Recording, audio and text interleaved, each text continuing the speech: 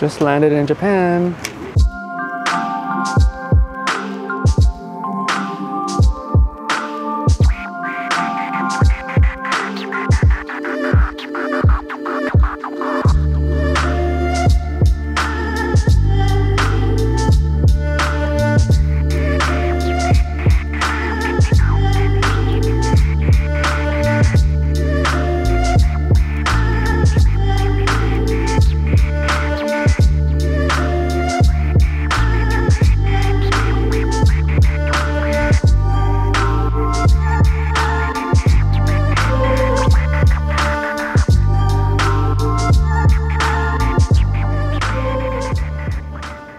So just landed in Japan, uh, just got off a flight from uh, San Francisco on board United in Premium Plus. Um, but now we're off to our next connecting flight, flying on ANA in the Premium Economy cabin to Singapore. First time being back in Japan in a couple of years, so pretty excited to be back here. Where are we going? You're playing Pokemon? So we're heading over to the ANA lounge to uh, freshen up, maybe take a quick shower, clean up um, before our next flight. So here are the escalators up to the ANA lounge, but unfortunately we never made it in as they had restricted entry for priority pass holders due to overcrowding. Instead, we just found a quiet area to chill until our next flight. Speaking of our next flight, here's the ANA Dreamliner that will be taking us to Singapore. Soon enough, it was time to board from gate 32. As to be expected in Japan, boarding began right on time. Interestingly, ANA uses different boarding groups for window and aisle passengers, even within the same cabin. As I had a window seat, I was able to board in group 3, while Peterson had an aisle seat, so he boarded as part of group 5.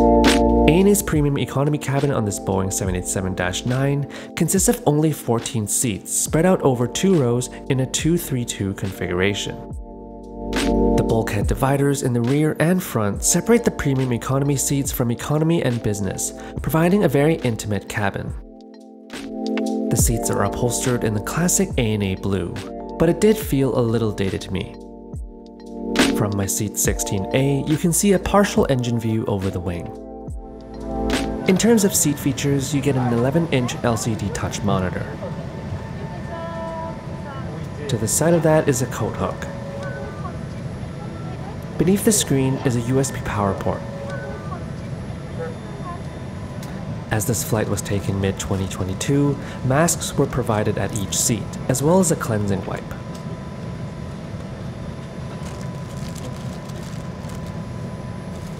You also get a set of headphones to use with the IFE.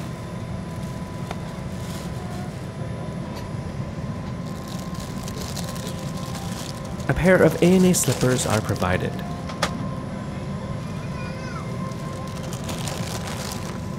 In the seat pocket, you'll find the sickness bag and the 787 safety card. A footrest is provided for all seats except the bulkhead seats. In this case, given the cabin only consists of two rows, the footrest is only available in the second row. With the footrest stowed, you do get a lot of legroom. Below the center console, you'll find the IFE controller.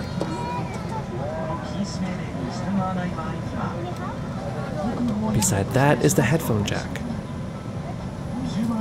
A small tray can be extended for more surface area to put something like a drink. At the bottom of the seat by the leg rest is a universal power outlet, one for each seat. Under the armrest is the tray table, which swings out like so.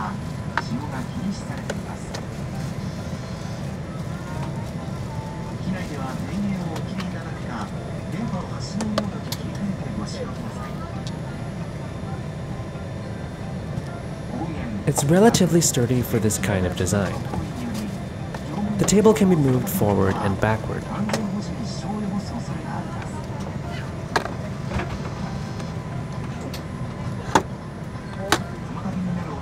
A flexible reading light is found by the side of the headrest.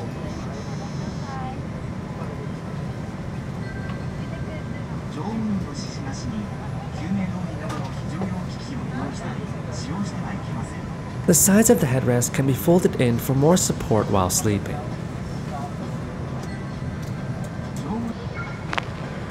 Two seat control buttons are found on the inner side of the armrest, one for leg rest extension and one for recline.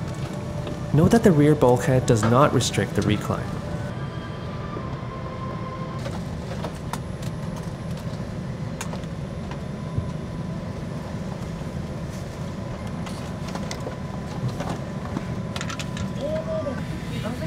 A small pillow is provided on the seat for some extra support.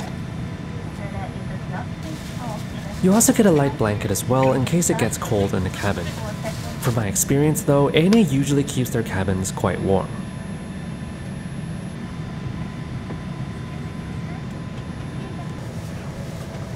Since a cleaning wipe was provided, I proceeded to wipe down the seat surfaces before use.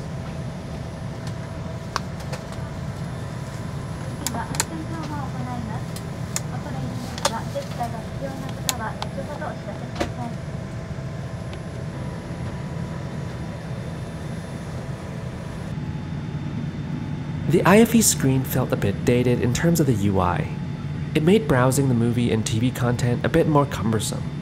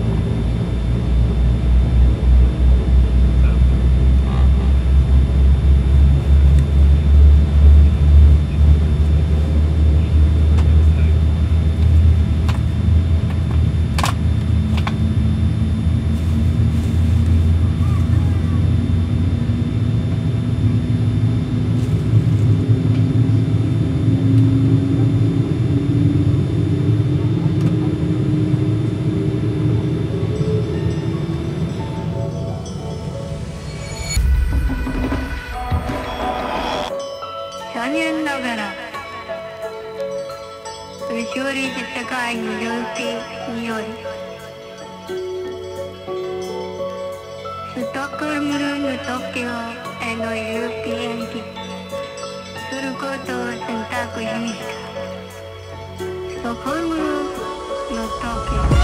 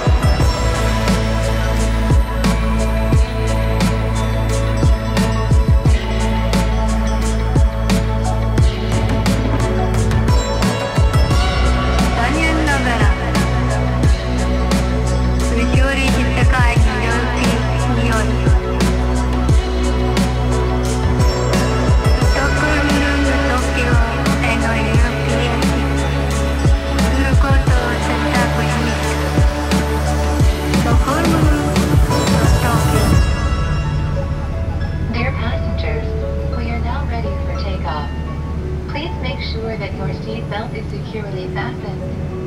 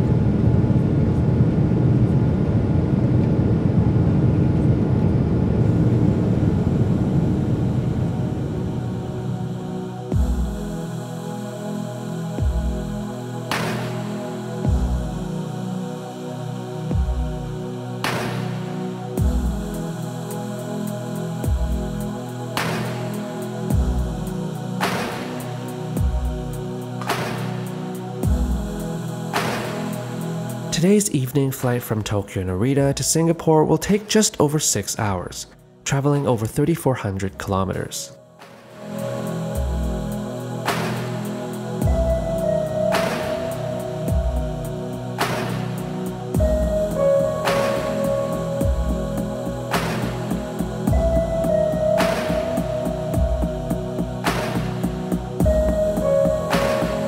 Here are the headphones provided. They felt a bit flimsy, but other than that, they got the job done.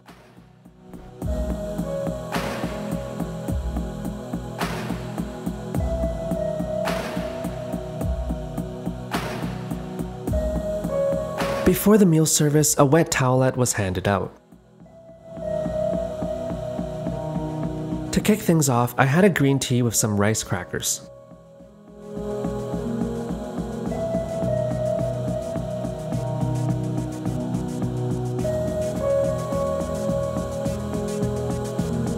The choice of meal service was between grilled teriyaki chicken and hamburger patty. I opted for the patty. Everything was served on one tray and consisted of a sushi roll, edamame, some kind of cold dish with a yuzu jelly on top, the hamburger patty with some veggies and mashed potato on the side, a bottle of water, a bread bun with some butter, a salad, and cheese and crackers. I also ordered a Coke as well.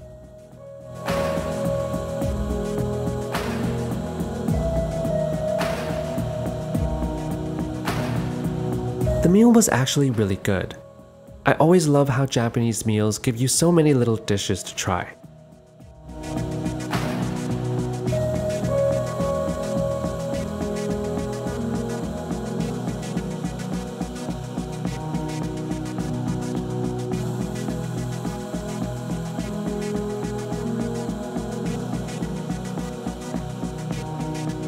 At the end of the meal, Haagen-Dazs ice cream was served.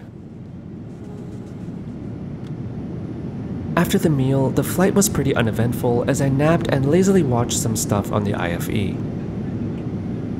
With just under two hours to go in the flight, another light snack was served, consisting of a packaged pastry and a cup of instant pasta.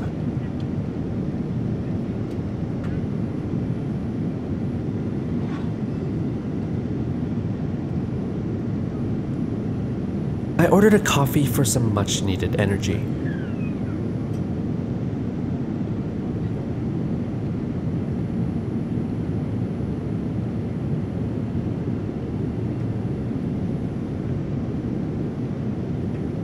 Before the end of the service, the crew came by to offer milk biscuits and ANA candy. Pretty soon, we were on final approach into Singapore, just after midnight.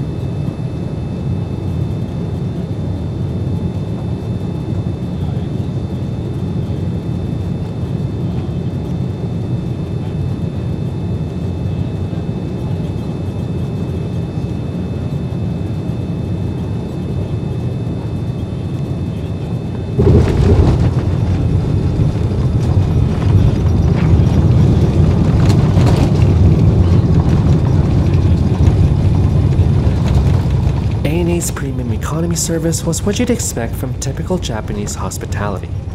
The service was very efficient and friendly. While the soft product was great, I wasn't too impressed by the seat or the IFE. It all felt a bit dated and in need of a refresh. I know that ANA offers a newer version of their premium economy on their 787-10, A380, and select 777 aircraft. I would really love to give those a try. Nevertheless, it was a very comfortable flight to Singapore and another great flight with ANA. And with that, it's a wrap for this trip report. Thanks for following along and checking out my ANA Premium Economy experience. Until next time, thanks for watching, happy travels, and I'll see you in the next one.